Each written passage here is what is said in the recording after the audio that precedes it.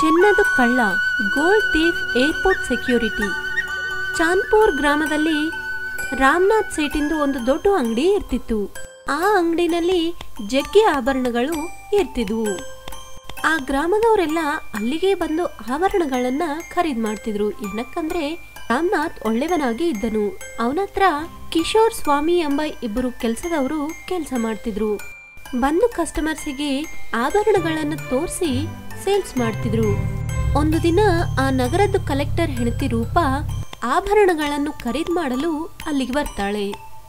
ಬನ್ನಿ ಮೇಡಮ್ ಬನ್ನಿ. ಹೇಗಿದ್ದೀರಾ ನೀವು? ಈಗೆಲ್ಲ ಹೊಸ ಡಿಸೈನ್ಗಳು ಬಂದಿವೆ. ಏನು ನೋಡ್ತೀರಾ ಹೇಳಿ? ರಾಮನಾಥ್ ಅವ್ರಿ ನನ್ನ ಸಲುವಾಗಿ ಹೊಸ ಡಿಸೈನ್ಸ್ ಬಳಿ ಮತ್ತು ನಮ್ಮ ಯಜಮಾನ್ರಿಗಾಗಿ ಎರಡು ಚೈನ್ಸ್ ಆ ಹಾಗೆ ಹಂಡ್ರೆಡ್ ಗ್ರಾಮ್ಸ್ ಬಿಸ್ಕೆಟ್ ಬೇಕು. ಸರಿ ಮೇಡಮ್ ಖಂಡಿತವಾಗಿಯೂ. ಅರೆ, ಓ ಕಿಶೋರ್ ಮೇಡಮ್ಗೆ ಏನೇನು ಬೇಕು ಅದನ್ನೆಲ್ಲ ತೋರಿಸು. ರಾಮನಾಥ್ ಹೀಗೆ ಹೇಳಿ ತನ್ನ ಕೆಲಸವನ್ನು ಮಾಡ್ಕೊಳ್ತಿದ್ದನು. ಹೊಸ ಡಿಸೈನ್ಸ್ ತೋರಿಸಲು ಕಿಶೋರ್ ಕೆಳಗಿದ್ದು ಅಲ್ಮಾರ್ನ ಓಪನ್ ಮಾಡಿದನು.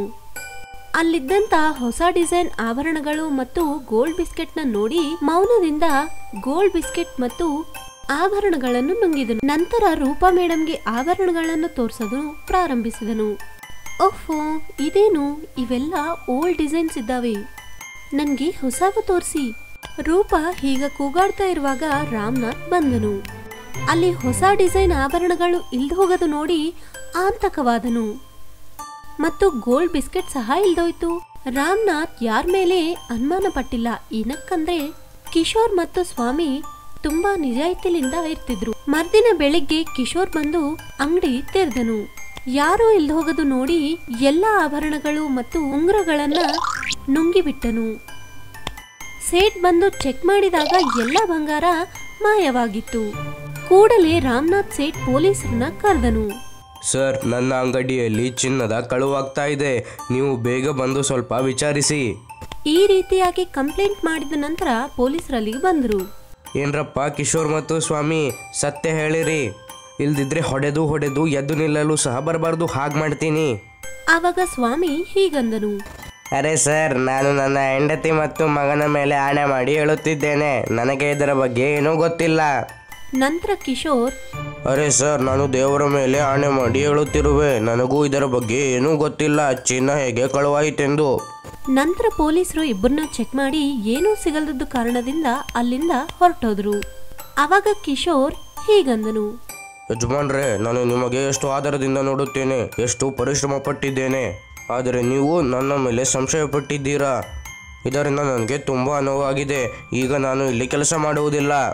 ಹೀಗೆ ಹೇಳಿ ಕಿಶೋರ್ ಕೂಡಲೇ ಫ್ಲೈಟ್ ಹಿಡ್ಕೊಂಡು ಅಲ್ಲಿಂದ ಓಡೋಗ ಪ್ರಯತ್ನ ಮಾಡ್ತಾನೆ. ಸೀದಾ ಏರ್ಪೋರ್ಟಿಗೆ ಹೋಗಿ ಒಂದು ಟಿಕೆಟ್ ಖರೀದ್ ಮಾಡಿ ಡಿಲ್ಲಿ ಹೋಗ್ಬೇಕಂತ ಯೋಚಿಸ್ತಾನೆ. ಈ ರೀತಿಯಾಗಿ ಅವನು ಸೆಕ್ಯೂರಿಟಿ ಹತ್ರ ಹೋದಾಗ ಮೆಟಲ್ ಅಲಾರಂ ಡಿಟೆಕ್ಟರ್ ರಿಂಗ್ ಆಗುತ್ತದೆ. ಸ್ಕ್ಯಾನ್ ಮಾಡಿ ನೋಡಿದ್ರೆ ಒಳಗೆಲ್ಲ ಬಂಗಾರು ಆಭರಣಗಳು ಮತ್ತು ಹಂಡ್ರೆಡ್ ಗ್ರಾಮ್ ಗೋಲ್ಡ್ ಬಿಸ್ಕೆಟ್ಸು ಕಾಣಿಸಿದವು. ಬಂಗಾರ ಕಳ್ಳು ಮಾಡಿದಂತ ಆರೋಪಣೆಯಿಂದ ಜೈಲ್ನಲ್ಲಿ ಏಳು ವರ್ಷ ಅವನಿಗೆ ಶಿಕ್ಷೆ ಬಿತ್ತು. ಒಂದು ಗ್ರಾಮದಲ್ಲಿ ಕಿಶನ್ ಎಂಬ ಒಬ್ಬ ವ್ಯಕ್ತಿ ಇರ್ತಿದ್ದನು. ಅವನೊಂದು ಕಂಪನಿದಲ್ಲಿ ಪ್ಯೂನ್ ಕೆಲಸ ಮಾಡ್ತಿದ್ದನು. ಅವನು ಅಲ್ಲಿ ಸ್ವಚ್ಛಗೊಳಿಸೋದು ಹಾಗೆ ಚಿಕ್ಕ ಪುಟ್ಟ ಕೆಲಸಗಳನ್ನು ಮಾಡ್ತಿದ್ದನು. ಅವನಿಗೆ ಜಿಲೇಬಿ ಮಾಡೋದಂದ್ರೆ ತುಂಬಾ ಇಷ್ಟ ಇರ್ತಿತ್ತು. ಸಮಯ ಸಿಕ್ಕಾಗೆಲ್ಲ ಮನೆಯಲ್ಲಿ ಜಿಲೇಬಿ ಮಾಡ್ತಾ ಇದ್ದನು. ಅವನು ಮಾಡಿದ್ದಂತ ಜಿಲೇಬಿ ಅವನ ಕುಟುಂಬ ಸಭ್ಯರಿಗೆ ಮತ್ತು ಗೆಳೆಯರಿಗೆ ತುಂಬಾ ಇಷ್ಟ ಇರ್ತಿತ್ತು. ಅರೆ ವಾ ಪಪ್ಪ ಜಿಲೇಬಿ ಮಾಡ್ತಾ ಇದ್ದಾರೆ. ತುಂಬಾ ಮಜಾ ಅನಿಸುತ್ತೆ. ಅಪ್ಪ ನೀವಂತೂ ತುಂಬಾ ರುಚಿಕರವಾದ ಜಿಲೇಬಿ ಮಾಡ್ತೀರಿ. ಅರೆ ಇವತ್ತಂತೂ ನೀವು ಬೆಳಿಗ್ಗೆ ಜಿಲೇಬಿ ಮಾಡ್ಬೇಕಂತ ಕೂತ್ಕೊಂಡಿದ್ದೀರಾ? ಆ ತುಂಬಾ ಮಜಾ ಅನಿಸುತ್ತದೆ. ಅಕ್ಕಪಕ್ಕದ ಮನೆಗಳಿಗೆಲ್ಲ ಸುವಾಸನೆ ಬರುತ್ತದೆ. ಅವಾಗ ಅವ್ರು ಬಂದು ನನಗೆ ಜಿಲೇಬಿ ತಿನ್ಸು ಅಂತ ಕೇಳ್ತಾರೆ. ಕೆಲವು ದಿನಗಳಲ್ಲಿ ಅವನು ಮನೆಯಲ್ಲೇ ಜಿಲೇಬಿ ಮಾಡ್ತಿದ್ದನು. ಅರೆ ನೋಡಿ ಹಬ್ಬದ ಸಮಯಗಳಲ್ಲಿ ನಿಮ್ಮ ಹತ್ರ ಬರೋದಕ್ಕ ಒಂದೇ ಕಾರಣ. ಅದಂತೂ ನಿಮ್ ಕೈಲಿಂದ ಮಾಡಿದಂತ ಜಿಲೇಬಿ ಸಲುವಾಗಿ. ಎಲ್ಲರಿಗೆ ಅವಂದ್ರೆ ತುಂಬಾ ಪ್ರೀತಿ. ಮುಖ್ಯವಾಗಿ ನಿಮ್ ಭಾವಗ. ದಿವಾಲಿ ಚುಟ್ಟಿಗಳು ಮುಗಿದ ನಂತರ ಅವನು ಆಫೀಸ್ನಲ್ಲಿ ತನ್ನ ಬಾಸ್ ಬದಲಾಯಿಸಿರುವುದನ್ನು ನೋಡಿ ಅವನು ಆಂತಕವಾದನು. ಈ ರೀತಿಯಾಗಿ ಅವನ್ನ ಉದ್ಯೋಗದಿಂದ ತೆಗೆದುಹಾಕಿದ್ರು. ಕಿಶನ್ ತುಂಬಾ ಆಂತಕವಾದನು. ದೇವರೇ ನಾನೀಗ ಏನು ಮಾಡಲಿ? ನನ್ನ ಮನೆ ಅಂತೂ ಕೇವಲ ನನ್ನ ಗಳಿಕೆಯಿಂದಲೇ ನಡೆಯುತ್ತಿತ್ತು. ಈಗ ನನ್ನ ಮನೆ ಹೇಗೆ ನಡೆಯುತ್ತೋ ಏನೋ. ಅವಾಗೆ ತನ್ನ ಗೆಳೆಯ ಮೋಹನ್ ಅವನ್ನ ಭೇಟಿಯಾಗಲು ಬಂದಿದ್ದನು. ಏನಾಯ್ತು ಕಿಶನ್? ನೀನು ಇಷ್ಟು ಗೊಂದಲದಲ್ಲೇಕಿದ್ದೀಯಾ ಕಿಶನ್ ಮೋಹನ್ಗೆ ಆಗಿದ್ದೆಲ್ಲ ಹೇಳಿ ಹೀಗಂದನು. ಈಗ ನೀನೇ ಹೇಳು ಮೋಹನ್ ನಾನು ಏನು ಮಾಡಲಿ? ಅವಾಗೆ ಮೋಹನಿಗೊಂದು ಉಪಾಯ ಉಳಿಯುತ್ತೆ ಅವ ಕಿಶನ್ ಜೊತೆ ಅರೆ ಕಿಶನ್, ನೀನು ನಿರಾಶನಾಗಬೇಡ ನೀನು ಜಿಲೇಬಿ ಅಂತೂ ತುಂಬ ಚೆನ್ನಾಗೇ ಮಾಡ್ತೀಯ. ನೀನು ಜಿಲೇಬಿಯನ್ನು ಮಾರುವ ಕೆಲಸವನ್ನೇ ಏಕೆ ಶುರು ಮಾಡಬಾರ್ದು? ನಾನು ಖಂಡಿತವಾಗಿಯೂ ಹೇಳ್ತೀನಿ, ನಿನ್ನ ಕೆಲಸ ತುಂಬ ಚೆನ್ನಾಗಿ ನಡೆಯುತ್ತೆ. ಅರೆ ಯಾರ್ ಮೋಹನ್? ಆದರೆ ನನ್ನ ಹತ್ತಿರವಂತೂ ಒಂದು ಅಂಗಡಿ ಖರೀದಿಸುವ ದುಡ್ಡು ಕೂಡ ಇಲ್ಲ. ಅರೆ ಯಾರು ಇದಕ್ಕಾಗಿ ಒಂದು ಅಂಗಡಿ ಏಕೆ ಬೇಕು? ನಿನ್ನ ಹತ್ತಿರ ಏನೇನು ಸಾಮಾನಿದೆಯೋ ಅವುಗಳನ್ನೆಲ್ಲ ತೆಗೆದುಕೊಂಡು ವಾರದ ಸಂತೆಯಲ್ಲಿ ಹೋಗು. ಮತ್ತು ಅಲ್ಲಿಯೇ ಜಿಲೇಬಿ ಮಾಡಿ ಮತ್ತು ಮಾರಲು ಪ್ರಾರಂಭಿಸು. ಕಿಶನ್ ಮೋಹನ್ ಹೇಳಿದಂತ ಮಾತು ಒಪ್ಪಿಕೊಂಡನು. ಅವನು ಬಜಾರ್ನಲ್ಲಿ ಜಿಲೇಬಿ ಮಾರಲು ಪ್ರಾರಂಭಿಸಿದನು. ಮೆಲ್ಲು ಮೆಲ್ಲುಕಾವ ಜಿಲೇಬಿ ಮಾರಾಟ ಮಾಡಿದನು. ಎಲ್ಲರೂ ಅವನ ಜಿಲೇಬಿನ ಹೊಗಳಿದ್ರು. ಬಿಸಿ ಬಿಸಿ ಆದಂತ ನಿಮ್ಮ ಜಿಲೇಬಿ ತಿಂದು ಮಜಾ ಅನಿಸುತ್ತು. ಇನ್ನೂ ಎರಡು ಕಿಲೋ ಪಾರ್ಸಲ್ ಮಾಡಿ ಅಣ್ಣೋರೆ. ಅರೆ ವಾ ನಾನು ಈ ಮಾರ್ಕೆಟ್ನಲ್ಲಿ ಬಹಳ ವರ್ಷಗಳಿಂದ ಬರುತ್ತಿದ್ದೇನೆ. ಆದರೆ ಇಂತಹ ಜಿಲೇಬಿಯನ್ನು ನಾನು ಇಲ್ಲಿಯವರೆಗೆ ತಿಂದಿರಲಿಲ್ಲ. ಹಾಂ ಸಾಹೇಬ್ರೆ ನೀವು ಸರಿ ಎನ್ನುತ್ತಿದ್ದೀರಿ. ನಾನಂತೂ ಕೇವಲ ಈ ಜಿಲೇಬಿಗಳನ್ನು ಮಾರಲು ಬರುತ್ತೇನೆ ಇಲ್ಲಿ. ಕಿಶನ್ ಹೆಚ್ಚು ಗೆಳಕಿ ಮಾಡಿದನು. ಅವನು ಬಾಜಾರ್ನಲ್ಲೇ ಅಲ್ದಂಗ ಮೇಳಗಳಲ್ಲಿ ಸಹ ಜಿಲೇಬಿ ಮಾರಾಟ ಮಾಡ್ತಿದ್ದನು. ಕಿಶನ್ ಮೋಹನಿಗೆ ಧನ್ಯವಾದ ಹೇಳಿದನು. ಮೋಹನ್ ನಿನಗೆ ತುಂಬಾ ತುಂಬಾ ಧನ್ಯವಾದಗಳು. ನೀನು ನನಗೆ ಈ ಸಲಹೆ ಕೊಡದಿದ್ದರೆ ಏನಾಗ್ತಿತ್ತೋ ಏನೋ. ಅರೆ ಕಿಶನ್ ಅಸಲಿ ಕಲೆ ಅಂತೂ ನಿನ್ನ ಹತ್ತಿರವಿದೆ. ನಾನಂತೂ ಕೇವಲ ಅದನ್ನು ಪ್ರೋತ್ಸಾಹಿಸಿದ್ದೇನೆ. ಮತ್ತು ಅಲ್ಲಿರೋ ಜನರು ಕಿಶನ್ನ ಮೊಬೈಲ್ ಜಿಲೇಬಿ ಶಾಪ್ ಕಿಶನ್ ಅಂತ ಕರಿತಿದ್ರು. ಒಂದಾನೊಂದು ಕಾಲದಲ್ಲಿರುವ ಮಾತು ಒಂದು ಗ್ರಾಮದಲ್ಲಿ ಚಂದು ಎಂಬ ಮಟನ್ ವ್ಯಾಪಾರಿ ಇದ್ದನು. ಅವನು ದಿನ ತಾಜಾ ಮಟನ್ ತಂದು ಗ್ರಾಮದಲ್ಲಿ ಮಾರಾಟ ಮಾಡ್ತಿದ್ದನು. ಗ್ರಾಮಸ್ಥರೆಲ್ಲ ಅವನ ಮಟನ್ನ ತುಂಬಾ ಹೊಗಳುತ್ತಿದ್ದರು. ಈ ಸುನಾಮಿ ಅಂತೂ ಎಲ್ಲವನ್ನ ಚೂರು ಚೂರು ಮಾಡಿಬಿಟ್ಟಿತು. ಒಂದು ದಿನ ಆ ಗ್ರಾಮದಲ್ಲಿ ದೊಡ್ಡ ತುಫಾನು ಹಾಗೆ ತೀವ್ರವಾದ ಮಳೆ ಬಂತು. ಬಲವಾದ ಗಾಳಿಗಳಿಂದ ಪೂರ್ತಿ ಗ್ರಾಮ ಎಲ್ಲ ಅಸ್ತವ್ಯಸ್ತವಾಗಿತ್ತು. ಗ್ರಾಮದ ಪಕ್ಕದಲ್ಲೇ ಇರುವ ನದಿಯಿಂದ ಗ್ರಾಮ ಎಲ್ಲ ನೀರಿನಿಂದ ತುಂಬೋಯಿತು ತುಫಾನ್ ಮತ್ತು ಮಳೆಲಿಂದೇ ಗ್ರಾಮಸ್ಥರೆಲ್ಲರೂ ಆಂತಕವಾದರು. ಅದೇನೋ ನಮ್ಮ ಗ್ರಾಮ ಎತ್ತರದಲ್ಲಿದೆ ಆದ್ದರಿಂದ ನಾವು ಇದರಿಂದ ಪಾರಾದೆವು. ಆದರೆ ಮಾರ್ಕೆಟು ಪೂರ್ತಿ ಕೊಚ್ಚಿಕೊಂಡು ಹೋಗಿದೆ. ಹೇ ದೇವರೇ ನಾನೀಗ ಏನ್ ಮಾಡ್ಲಿ? ನನ್ನ ಅಂಗಡಿ ಅಂತೂ ಮುರಿದು ಬಿದ್ದಿದೆ ಮತ್ತು ಮಾರ್ಕೆಟ್ನಲ್ಲೆಲ್ಲ ನೀರೇ ತುಂಬಿದೆ. ಚೆಂದು ಸಹ ಆಂತಕವಾದನು. ಈಗ ನನ್ನ ಜೀವನ ಹೇಗೆ ನಡೆಯುತ್ತೆ? ನನ್ನ ಹೊಟ್ಟೆ ಹೇಗೆ ತುಂಬುತ್ತೆ? ಕಮಲಾ ಈಗ ನಮ್ಮ ಹೊಟ್ಟೆಪಾಡು ಹೇಗೆ ನಡೆಯುತ್ತೆ? ಹೀಗೆ ನಡೆಯುತ್ತಿದ್ರೆ ನಾವು ನಮ್ಮ ಮನೆಯ ಪಾತ್ರೆಗಳನ್ನು ಸಹ ಮಾರಬೇಕಾಗುತ್ತೆ. ಈಗ ಸ್ವಲ್ಪ ದಿನ ಕಳೆದವು. ಚಂದನ ಹತ್ರ ಇರುವ ಹಣವೆಲ್ಲ ಖರ್ಚಾಗಿ ಹೋಗ್ತಾ ಇದ್ದವು.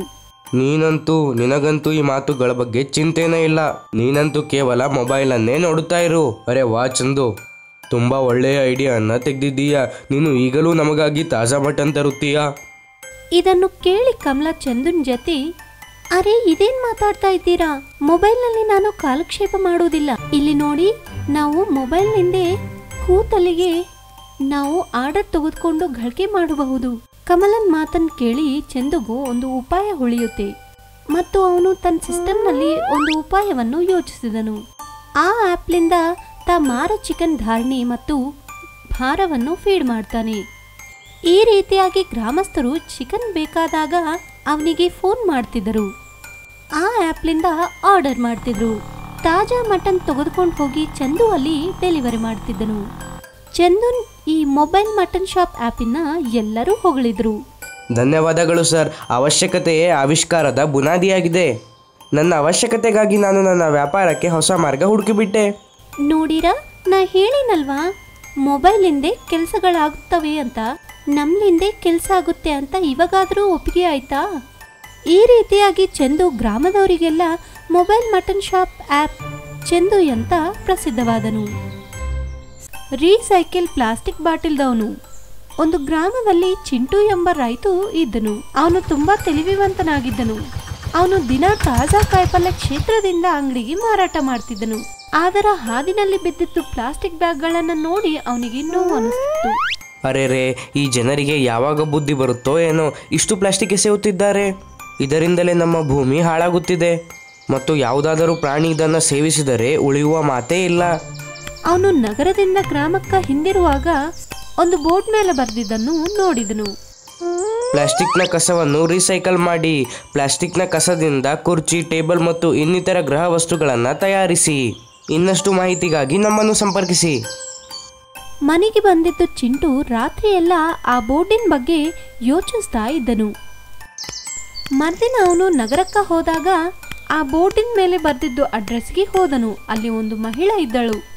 ಆ ಮಹಿಳನ ಜೊತೆ ಚಿಂಟು ಮೇಡಮ್ ನಾನು ನಿನ್ನೆ ಈ ನಿಮ್ಮ ಬೋರ್ಡನ್ನು ನೋಡಿದ್ದೆ. ನಾವು ನಿಜವಾಗಿಯೂ ಪ್ಲಾಸ್ಟಿಕನ್ನು ರೀಸೈಕಲ್ ಮಾಡಬಹುದಾ? ಚಿಂಟುನ್ ಮಾತನ್ನು ಕೇಳಿ ಮೇಡಮ್ ಜವಾಬು ಕೊಟ್ಟಿದ್ದಳು. ಹೌದ್ರಿ, ನೀವು ತುಂಬಾ ಉಚಿತವಾಗಿ ಓದಿದ್ದೀರಿ. ನಮ್ಮ ಸಂಸ್ಥೆ ಪ್ಲಾಸ್ಟಿಕ್ಲಿಂದ ಹೊಸ ಹೊಸ ವಸ್ತುಗಳನ್ನು ನಿರ್ಮಾಣ ಮಾಡಲು ಶಿಕ್ಷಣ ಕೊಡ್ತದೆ. ಇದಕ್ಕಾಗಿ ನಾವು ನಿಮ್ಗೆ ಟ್ರೈನಿಂಗ್ ಕೊಡ್ತೀವಿ. ಇದರಿಂದ ವಾತಾವರಣ ಸ್ವಚ್ಛವಾಗುತ್ತದೆ, ಹಾಗೆ ನಿಮಗೆ ಗಳಿಕೆ ಸಹ ಆಗುತ್ತದೆ. ಮತ್ತು ಚೆತ್ತಿ ಎಂಬ ಮಾತೇ ಇರುವುದಿಲ್ಲ. ಮೇಡಮ್ ಹೇಳಿದಂತ ಮಾತು ಚಿಂಟುಗೆ ತುಂಬಾ ಇಷ್ಟ ಅನಿಸ್ತು. ಆವಾಗಿಂದ ಅವನು ನಗರದಿಂದ ಗ್ರಾಮಕ್ಕ ಹೋಗ್ತಾ ಇರುವಾಗ ತನ್ನ ಬಣ್ಣಿನಲ್ಲಿ ಪ್ಲಾಸ್ಟಿಕ್ ವ್ಯರ್ಥವನ್ನು ತುಂಬಿಕೊತ್ತಿದ್ದನು. ಅದನ್ನು ಕ್ಷೇತ್ರದಲ್ಲಿ ಜಮಾ ಮಾಡ್ತಿದ್ದನು. ಮೆಲ್ಲು ಮೆಲ್ಲುಕ ಕ್ಷೇತ್ರದಲ್ಲಿ ಜಗ್ಗಿ ಪ್ಲಾಸ್ಟಿಕ್ ಜಮಾ ಆಯ್ತು. ಇದನ್ನು ನೋಡಿ ಗ್ರಾಮದ ಸರ್ಪಂಚ್ ಚಿಂಟುನ್ ಜೊತೆ, ಅರೆ ಚಿಂಟು, ನೀನೇನು ಹುಚ್ಚನಾಗಿದ್ದೀಯ ಏನು? ಇಡೀ ನಗರದ ಕಸವನ್ನು ತೆಗೆದುಕೊಂಡು ಗ್ರಾಮದಲ್ಲಿ ತರುತ್ತಿರುವೆ.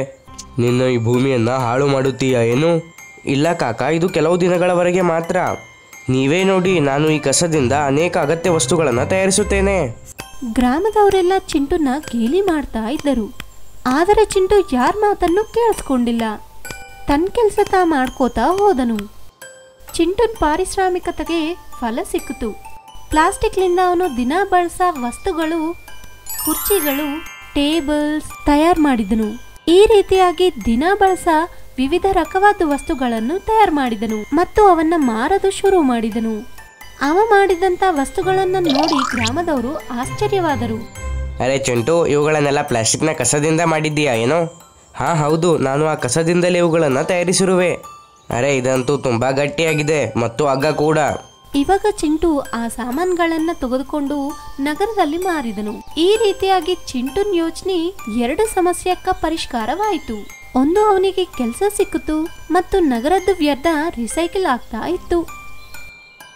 ಚಿಂಟುನ್ ಪ್ಲಾಸ್ಟಿಕ್ ವ್ಯರ್ಥ ರೀಸೈಕ್ಲಿಂಗ್ ಯೋಜನೆಗೆ ಮೊದಲು ಗ್ರಾಮದ ಪಂಚಾಯಿತಿ ಹಾಗೆ ರಾಜ್ಯ ಸರ್ಕಾರ ಸನ್ಮಾನವನ್ನು ಮಾಡಿತು